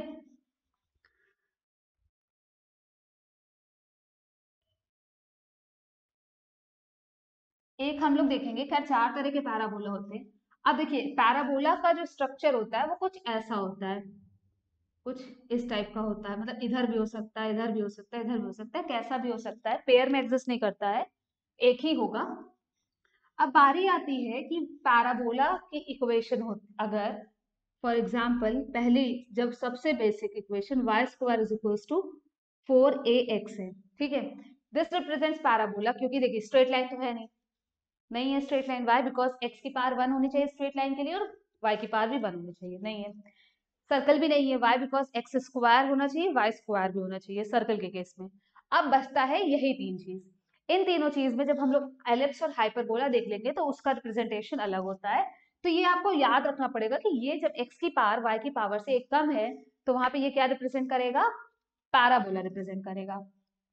अब हम क्या देखेंगे कि पावर ऑफ़ एक्स जो है वो पावर ऑफ़ वाई से कम है? है? तो जो पैराबोला का मुँह होगा, वो किधर की तरफ़ खुला होगा? एक्स एक्सिस की तरफ़। एक्स पॉजिटिव है तो पॉजिटिव एक्स एक्सिस की तरफ़। और देखिए, इसको ओरिजिन को ये सेटिस्फाई कर रहा है। ज़ीरो कॉमा ज़ीरो को। तो पैराबोला कुछ ऐसा बनेगा आपका। ठीक है? पैराबोला आपका कुछ ऐसा बनेगा। जहाँ पे ये क्या हो जाएगा? अब देखिए यही एक्सेस हो गई। यहाँ पे कुछ फोकस होगा। फोकस क्या होगा इसका? ए कॉमा ज़ीरो डायरेक्ट्रिक्स कहीं यहाँ पे होगी? डायरेक्ट्रिक्स ये फिक्स पॉइंट सॉरी एक मूविंग पॉइंट पी जो था, ये हो गया फोकस और ये इसकी डायरेक्ट्रिक्स से P M distance P S upon P M क्या होगा? इसेंट्रिसिटी के बराबर and in case of parabola eccentricity आपकी वन होती है। तो आप पी एस को पी एम के जब बराबर करेंगे तो वहाँ से यही इक्वेशन डिराइव होके आएगी। तो अब ज़ाहिर सी बात है कि अब यहाँ पे बात आती है कि ये आपकी x x dash is what axis अभी देखिए सिर्फ़ इस वाले के लिए हम लोग बात कर रहे हैं। Y square is equal to four a x हमने ग्राफ बना लिया, हमने देखा बीच से कौन सी लाइन पास करी x axis and equation of x axis is y is equal to zero तो इसकी एक्सिस क्या हो गई? Y is equal to zero ठीक? Y square is equal to four a x है। तो इसका जो कह सकते हैं कि फोकस है, वो क्या है? A comma zero focus directrix क्या होगी? X is equal to minus a directrix focus से पास करने वाला जो लॉन्गेस्ट कॉर्ड होगा, वो क्या होगा आपका? लैटस रेक्टम होगा। ये आपका वर्टेक्स हो गया ज़ीरो कॉमा ज़ीरो तो ये तो सबसे बेसिक सा मतलब आपका पैराबोला हो गया। जहाँ पे आपने निकाल लिया वर्टेक्स ज़ीरो कॉमा ज़ीरो है फोकस निकाल लिया डायरेक्ट्रिक्स निकाल लिया एक्सेस की इक्वेशन निकाल लिया। बारी आती है सिर्फ़ और सिर्फ़ एक चीज़ और कि लेंथ ऑफ़ लैटस रेक्टम क्या होगा इस केस में। Length of latus rectum L L dash से रिप्रेजेंट करते हैं। Length of latus rectum is the chord passing through the focus तो length of latus rectum is nothing but four a in this case only मतलब अगर आपको equation दे दिया जाए y square is equals to eighteen x, ठीक? तो आप इसको क्या लिखेंगे? Four into eighteen by four x. तो यहाँ से ये क्या आ जाएगा? यहाँ पे अगर जब आप कंपेयर करेंगे तो ए की वैल्यू आ जाएगी नाइन बाय टू मतलब एटीन बाय फोर आ जाएगी ए की वैल्यू। अब जब आपको ए की वैल्यू पता चल गई तो आप फोकस निकाल सकते हैं, डायरेक्ट्रिक्स निकाल सकते हैं, लेंथ ऑफ़ लैटस रेक्टम निकाल सकते हैं। बाकी सिमेट्रिकल होगा ही होगा। इन माइट बी पॉसिबल कभी ऐसा आ जाए कि कुछ ऐसा आ गया मान लीजिए सिक्सटीन एक्स माइनस टू कोई दिक्कत नहीं है, आप एक्स माइनस टू को कैपिटल एक्स लेके सॉल्व कर लीजिए, उसके बाद जो भी, जहाँ जहाँ भी आएगा वैल्यू आएगा, जैसे इसको हमने कैपिटल एक्स ले लिया। तो ये आ गया आपका four times four a x ठीक? तो अब यहाँ से अगर आप बोलेंगे कि डायरेक्ट्रिक्स की इक्वेशन क्या आई तो डायरेक्ट्रिक्स आएगा capital x is equal to minus four capital x की जगह पे बाद में आप एक्स माइनस टू लिख लीजिएगा तो स्मॉल एक्स आपका आ जाएगा माइनस टू। ये काम बाद का होता है। तो ये हो गया पहले तरह का पैराबोला। अब हो सकता है कि पैराबोला ऐसा हो हो सकता है पैराबोला ऐसा हो हो सकता है पैराबोला ऐसा हो। तो अगर आप सारे टर्म से अवेयर हो चुके हैं कि what is focus what is directrix what is latus rectum what is vertex what is axis तो आप चारों तरह के पैराबोला के लिए अब मैं एक टेबल बना लेती हूँ और वो टेबल को देख के आप सारे वैल्यूज़ नोट डाउन कर लीजिएगा कि हर तरह के पैराबोला के लिए क्या फोकस होगा, क्या डायरेक्ट्रिक्स होगा, फिर उसके बाद आपका पैराबोला कंप्लीट हो जाएगा। तो पहले आप इतना नोट डाउन करिए, फिर हम लोग टेबल देखते हैं। तो इक्वेशन देखने के बाद इस टेबल पे आते हैं। सबसे पहला वाला हम लोगों ने देख चुका है। Y square is equal to four x y square is equal to four x में हमने देखा कि ग्राफ कैसा बनेगा कि पावर एक्स की कम है तो एक्स एक्सेस के अलॉन्ग वो खुला होगा प्लस एक्स है तो प्लस एक्स के अलॉन्ग खुला होगा। ये बन गया हमारा। वर्टेक्स का कोऑर्डिनेट क्या हो गया? ज़ीरो कॉमा ज़ीरो फोकस क्या हो गया आपका? A comma zero equation of directrix क्या हो गई? X is equals to minus a equation of the axis क्या हो गया? Y is equals to zero length of latus rectum क्या हो गया? फोर है. इतना कुछ देखने के बाद, एक जो बचा था आपका, वो था focal distance of a point मतलब किसी एक पर्टिकुलर पॉइंट का जो कि आपका पैराबोला पे लाई कर रहा है, उसका फोकस से कितना डिस्टेंस होगा? तो वो होगा ए प्लस एक्स ठीक है? उसके बाद सेकंड है four y square is equal to minus four x मुँह खुलेगा एक्स एक्सिस के लॉन्ग बट माइनस एक्स के लॉन्ग तो यहाँ पे भी वर्टेक्स आपका सेम होगा फोकस आपका चेंज हो जाएगा, क्योंकि अब फोकस कहाँ लाई करेगा? माइनस ए कॉमा ज़ीरो पे. तो directrix x is equal to plus a हो जाएगी axis y is equal to zero ही रहेगी length of latus rectum four a ही रहेगा, और ये आपका ए माइनस एक्स हो जाएगा focal distance of a point इसके बाद जो थर्ड है आपका, वो है क्या? X square is equal to four a y मतलब मुँह आपका किधर खुलेगा? वाई एक्सिस के long that to plus y axis के लॉन्ग वर्टेक्स आपका रहेगा ज़ीरो कॉमा ज़ीरो फोकस अब कहाँ लाई करेगा? वाई एक्सिस पे. That is zero comma a पे. ये क्या हो जाएगा? Y is equals to minus a कहीं पे डायरेक्ट्रिक्स जो होगी, आपकी कहीं पीछे होगी ना, y is equals to minus a पे. इक्वेशन ऑफ़ द एक्सिस हो जाएगा x is equals to zero of latus rectum will be four a and this will be a plus y कैसा ये बन गया a plus y focal distance of a point similarly जब x square is equal to minus four a y होगा तो जो parabola होगा, उसका मुँह खुलेगा तो आपका वाई एक्सिस के अलोंग ही बट नेगेटिव वाई एक्सिस के अलोंग मतलब कुछ ऐसा बनेगा। कुछ ऐसा बनेगा? तब भी वर्टेक्स तो सेम ही रहेगा। देखिए सेम क्या क्या रहेगा? वर्टेक्स सेम रहेगा length of latus rectum same रहेगा इक्वेशन ऑफ़ एक्सिस सेम रहेगा। बस इसमें क्या होता है कि जो आपका फोकस अगर वो पॉजिटिव है तो डायरेक्ट्रिक्स नेगेटिव डायरेक्ट्रिक्स पॉजिटिव है तो फोकस नेगेटिव अब यहाँ पे फोकस क्या हो जाएगा? ज़ीरो कॉमा माइनस ए और डायरेक्ट्रिक्स हो जाएगी y is equal to plus a और ये हो जाएगा ए माइनस वाई ये टेबल आपके लिए बहुत इंपॉर्टेंट है, क्योंकि जितने भी क्वेश्चन होंगे, अगर आपके दिमाग में ये टेबल रहता है तो क्वेश्चन को सॉल्व करना सिंपल हो जाता है। तो ये टेबल आप फटाफट से बना लीजिए, उसके बाद हम लोग देखते हैं एलिप्स देखते हैं हम लोग एलिप्स जैसे कि हम लोगों ने देखा कि एलिप्स के लिए एसेंट्रिसिटी क्या होती है? लेस दैन वन होती है। लेस दैन वन का मतलब यही हुआ कि एक फिक्स पॉइंट होगा, एक मूविंग पॉइंट होगा।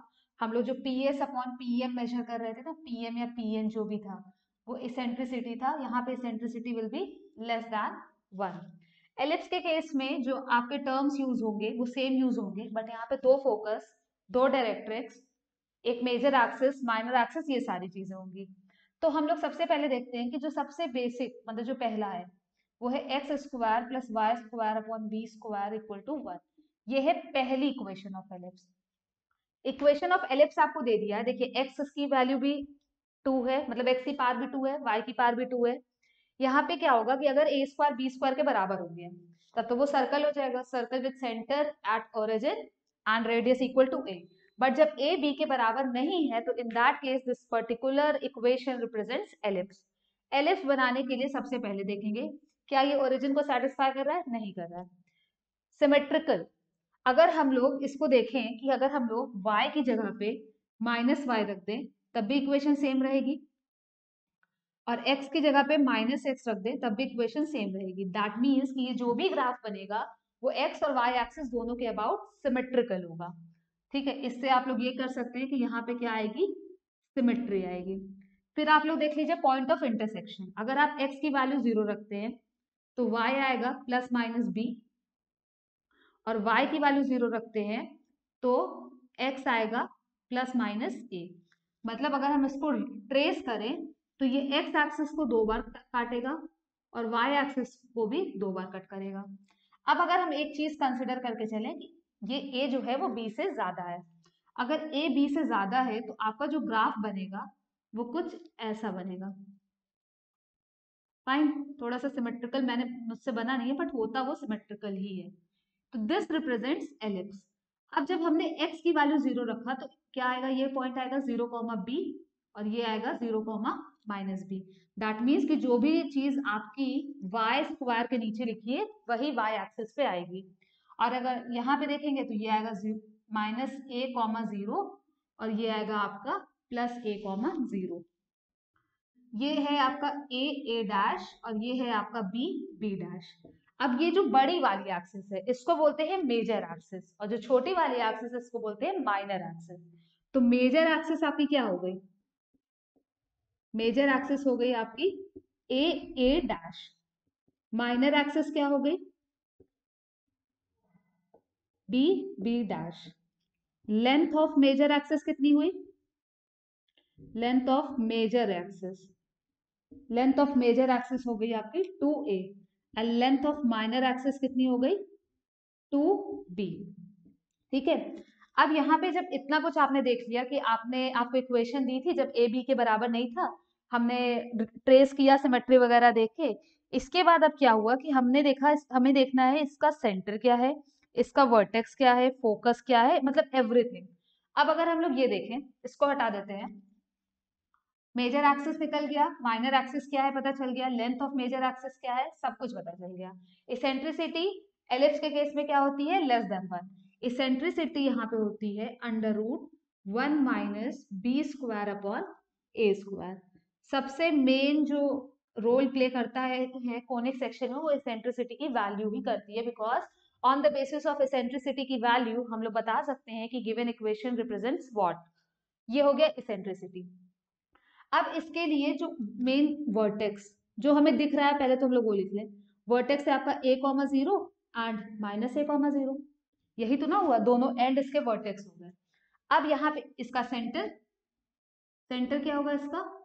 Zero comma zero. ये हो गया इसका सेंटर सी यहाँ पे दो फोकस होंगे, एक एस और एक एस डैश फाइन तो यहाँ पे जो फोकस होगा, वो होगा आपका a e comma zero and minus a e comma zero. इसको आप एकदम याद कर लीजिए कि इस एलिप्स के केस में जो फोकस होता है, वो a e comma zero and minus a e comma zero होता है। इक्वेशन ऑफ़ मेजर एक्सिस अगर बोला जाए तो मेजर एक्सिस की equation y is equals to zero और माइनर एक्सिस की equation x is equals to zero आप चाहिए तो इसको टेबल फॉर्म में भी लिख सकते हो ऐसे भी लिख सकते हैं। फिर आती है डायरेक्ट्रिक्स डायरेक्ट्रिक्स क्या होगा? डायरेक्ट्रिक्स ज़ाहिर सी बात है क्या होता था डायरेक्ट्रिक्स फोकस से ऑपोजिट साइड पे होता था तो यहाँ पे भी दो डायरेक्ट्रिक्स होगी। एक डायरेक्ट्रिक्स ये होगी और एक डायरेक्ट्रिक्स कुछ इधर लाई करेगी। इक्वेशन ऑफ़ डायरेक्ट्रिक्स होगा x is equals to plus minus a upon e दो डायरेक्ट्रिक्स, दो फोकस, एक माइनर एक्सिस एक मेजर एक्सिस एक वर्टेक्स एक सेंटर और हम लोगों ने ये तो निकाल ही लिया है। क्या कहते हैं इसको? इसेंट्रिसिटी इसके बाद आता है length of latus rectum length of latus rectum ये होता है two b square upon a ये भी याद कर लीजिए, ये भी काफ़ी इंपॉर्टेंट है। अब देखिए यहाँ पे दो टर्म और आते हैं। एक होता है ऑर्डिनेट और एक होता है double ordinate double ordinate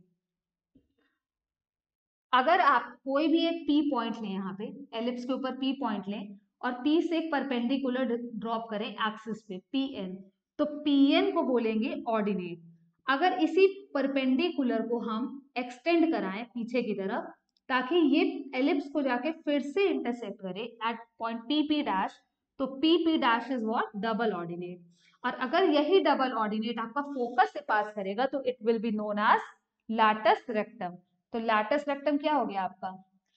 double ordinate ही हुआ।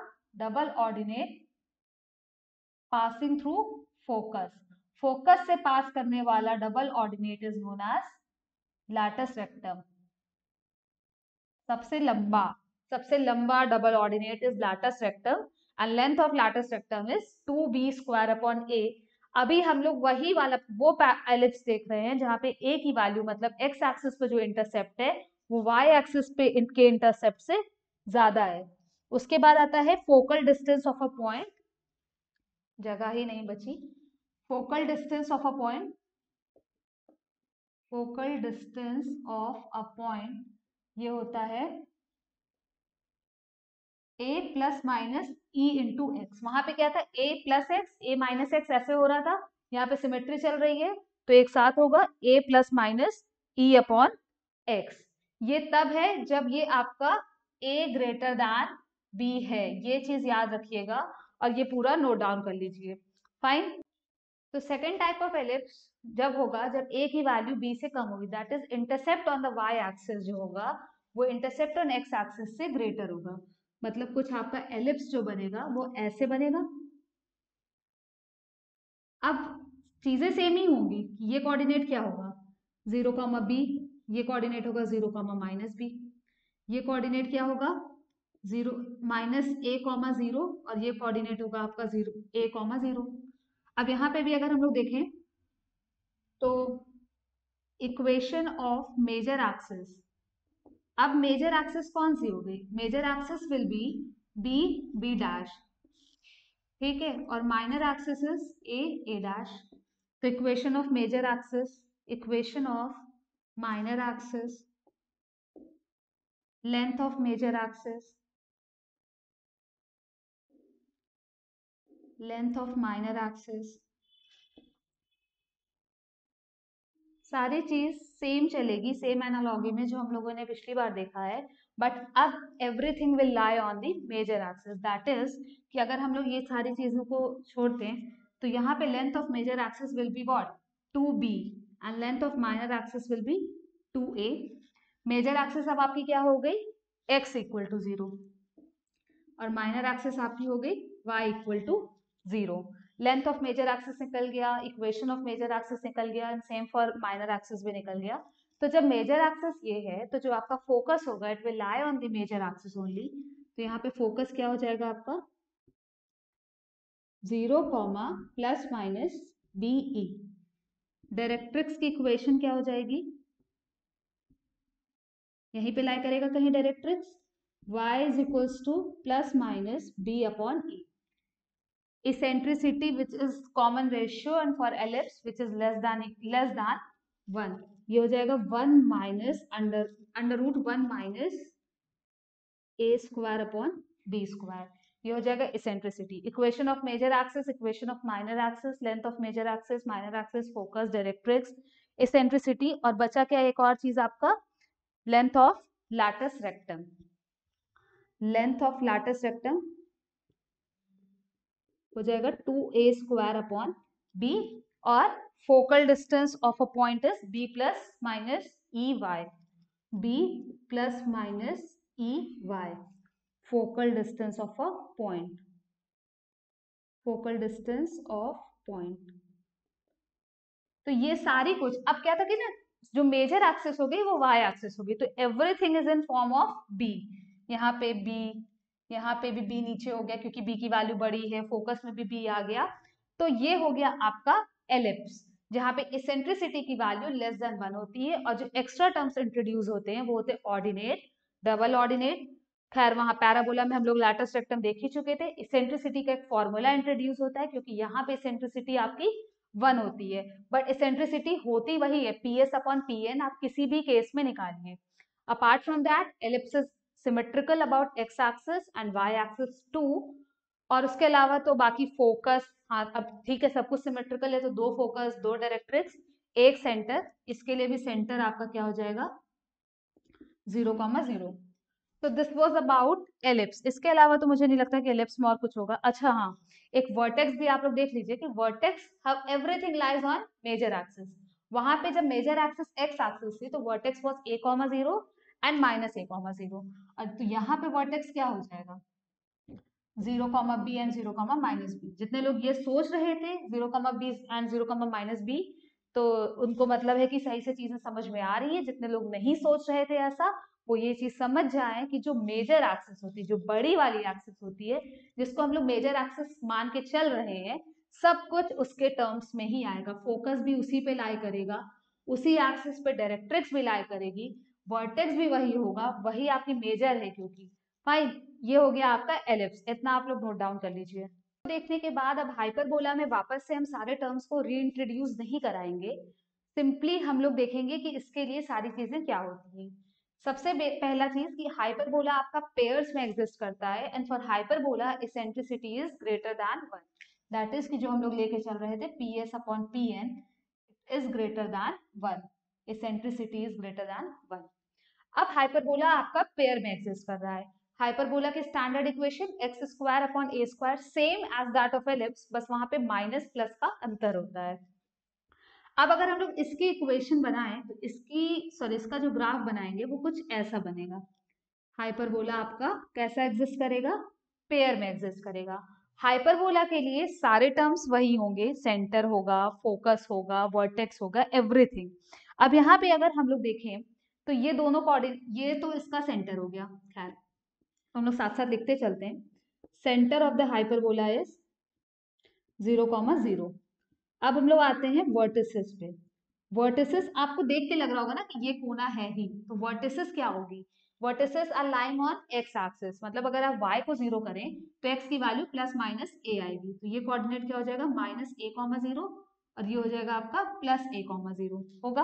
तो वर्टिसेस हो गए आपके plus minus a comma zero इसके बाद आता है आपका फोकस अब फोकस भी दो ही दो फोकस होगा। ज़ाहिर सी बात है, जैसे कि एलिप्स में चल रहा था कि दो फोकस था, वैसे ही यहाँ पे होगा। फोकस हमारा सेम ही होगा। Plus minus a upon sorry a e comma zero क्यों? क्योंकि जो आपकी, जो आपका वर्टेक्स है, जो आपका सेंटर है एवरीथिंग सेंटर तो खैर छोड़िए, जो आपका वर्टेक्स है it is lying on x axis तो फोकस भी आपका एक्स एक्सिस पे लाई करेगा। और एक्स एक्सिस पे लाई करेगा तो एक्स के नीचे वाला टर्म ही आप लोग लेके चलेंगे। ये हो गया आपका फोकस अब यहाँ पे दो तरह की एक्सेस होती है, एक ट्रांसफर्स एक्सेस होती है और एक आपकी कॉन्जुगेट एक्सेस होती है। तो ट्रांसफर्स एक्सेस की इक्वेशन ट्रांसफर्स एक्सेस एक minute equation of transverse axis. Transverse axis जो कि वर्टेक्स सेंटर फोकस इन सबको ज्वाइन करते हुए जा रही है, वो होती है y is equals to zero मतलब यहाँ पे ट्रांसफर्स एक्सिस आपकी क्या है? X एक्सिस है। y is equals to zero और जिसके अबाउट आपका जो हाइपरबोला है, वो ऐसे सिमेट्रिकल है, उसको बोलते हैं कॉन्जुगेट एक्सिस तो equation of conjugate axis will be x is equals to zero. अब बात आती है कि length of transverse axis and length of conjugate axis क्या होगी? तो length of transverse axis will be equal to two a अब ज़ाहिर, ये तो टू ए हो गया इतना। कॉन्जुगेट एक्सिस की कोई पर्टिकुलर लेंथ दिख नहीं रही है बट होती क्या है length of conjugate axis length of conjugate axis is two b अब इतना देखने के बाद फोकस हो गया ट्रांसफर्स एक्सेस हो गया कॉन्जुगेट एक्सेस हो गया, उन सबकी इक्वेशन हो गई। इसके बाद आता है आपका डायरेक्ट्रिक्स इक्वेशन ऑफ़ डायरेक्ट्रिक्स क्या होगा? जैसा कि एलिप्स में चल रहा था एक्स एक्सिस पे ही लाई करेगा directrices plus x is equals to plus minus a upon e अच्छा इसेंट्रिसिटी यूज़ तो कर रहे हैं बट इसेंट्रिसिटी का फॉर्मूला क्या होता है? Under root one plus b square upon a square ellipse में माइनस होता है हाइपरबोला के केस में प्लस होता है। तो हम लोगों ने सेंटर देख लिया वर्टिसेस देख लिया फोकस देख लिया transverse axis conjugate axis everything length of latus rectum एक मिस हुआ जो एल एल डैश की length two b square upon a याद कर लीजिएगा, जरा सा भी एलिप्स और हाइपरबोला के केस में लेंथ ऑफ़ लाटस रेक्टम में कंफ्यूजन मत रखिएगा। एकदम अच्छे से इसको याद करिएगा, क्योंकि लाटस रेक्टम काफ़ी इंपॉर्टेंट टॉपिक माना जाता है। उसके बाद है focal distance which is e x plus minus a e x plus minus a क्या है ये? Focal distance of a point मतलब हाइपरबोला पे लाई करने वाले किसी भी पॉइंट का फोकस से distance is e x plus minus a तो ये हो गया आपका हाइपरबोला अब हाइपरबोला का सेकेंड पार्ट सेकेंड पार्ट में हाइपरबोला के क्या होगा? हम लोग कुछ नहीं करते हैं, हम लोग थोड़ा सा चेंज करते हैं। थोड़ा सा चेंज करने में यहाँ पे क्या होगा? अच्छा ये अब जो हम लोग पढ़ेंगे सेकेंड पार्ट इसी में हम लोग चेंज करते हैं। इसको बोलेंगे, अब यहाँ पे ये प्लस हो जाएगा, ये माइनस हो जाएगा and this will be known as conjugate hyperbola कौन सा हाइपरबोला कॉन्जुगेट हाइपरबोला ठीक है? कॉन्जुगेट हाइपरबोला की इक्वेशन चेंज हमने कर दिया है। अब क्या है? एक्स नेगेटिव है। Y पॉजिटिव है तो ग्राफ जो आपका बनेगा, वो अब पलट जाएगा आपका ग्राफ कुछ ग्राफ ऐसा हो जाएगा। ऐसा होने पे फ़र्क क्या पड़ेगा? सेंटर सेम रहेगा। अब वर्टेक्स आपका कहाँ लाई करेगा? वाई एक्सिस पे लाई करेगा। तो अगर हम लोग वर्टेक्स को कोऑर्डिनेट चेंज करें तो it will be zero comma plus minus b ये हो जाएगा आपका वर्टेक्स क्योंकि हमने एक्स की वैल्यू ज़ीरो रखा तो वाई प्लस माइनस बी के बराबर आया। फोकस क्या हो जाएगा आपका? Zero comma plus minus b e होगा। अब आपकी जो भी ट्रांसफर्स एक्सिस और कॉन्जुगेट एक्सिस थी, वो आपस में इंटरचेंज हो जाएगी। मतलब transverse axis will be x is equal to zero, conjugate axis will be y is equal to zero. इसके बाद जो डायरेक्ट्रिक्स है, वो क्या हो जाएगा? Y is equal to plus minus d upon e. आप अलग से टेबल बनाइएगा। कंफ्यूजन किसी भी तरह का मत रखिएगा बस। और ये भी चेंज होगा। Length of transverse axis length of conjugate axis सब कुछ आपस में इंटरचेंज हो जाता है। अगर आपको एक के लिए भी याद है तो कॉन्जुगेट हाइपरबोला का सब कुछ आप खुद से निकाल सकते हैं। और eccentricity will be a square upon b square generally जो एलिप्स में हम लोग पहला वाला देखे थे, जब a was greater than greater than b वो वाला और हाइपरबोला में जो हम लोग पहला वाला देख रहे थे, वही यूज़ होता है। आप वो दोनों याद करिएगा, बाकी दोनों चीज़ें तो निकल आएँगी। तो मुझे नहीं लगता कि इसमें और कुछ चेंज करने की ज़रूरत है। एक ये focal distance of a point e y plus minus b और latus rectum will be two a square upon b तो ये हो गया आपका कंप्लीट कॉन्जुगेट हाइपरबोला तो ये आपका कंप्लीट होता है यहाँ पे टू डी कोऑर्डिनेट ज्योमेट्री अभी कोऑर्डिनेट ज्योमेट्री पे हम लोग नहीं कोऑर्डिनेट ज्योमेट्री हमारा खत्म नहीं हुआ है। कोऑर्डिनेट ज्योमेट्री हमारा तब खत्म होता है जब हम लोग थ्री भी कंप्लीट कर लेते हैं। पर अभी इस पर्टिकुलर वीडियो में हमने क्या खत्म किया है? Two D coordinate geometry straight line पहले पार्टीशन सिस्टम से इंट्रोड्यूस हुए, उसके बाद हमने देखा स्ट्रेट लाइन क्या होती है सर्कल क्या होता है पैराबोला के डिफरेंट इक्वेशंस क्या होती हैं एलिप्स को कैसे ट्रेस करते हैं क्या क्या टर्म्स यूज़ होते हैं। मोस्ट इंपॉर्टेंट टर्म एसेंट्रिसिटी के बेसिस पे हम कैसे बता सकते हैं कि कोई भी जो ग्राफ दिया है या इक्वेशन दी है, वो क्या है? सर्कल पैराबोला एलिप्स हाइपरबोला उसके बाद हमने देखा दो तरह के hyperbola so this was all about coordinate geometry without a break उम्मीद करते हैं वीडियो पसंद आई होगी। अगर पसंद आई है तो please hit the like button और अपने दोस्तों के साथ शेयर ज़रूर करिएगा। चैनल पर नए हैं तो सब्सक्राइब करना मत भूलिएगा। Thanks for watching the video enjoy your day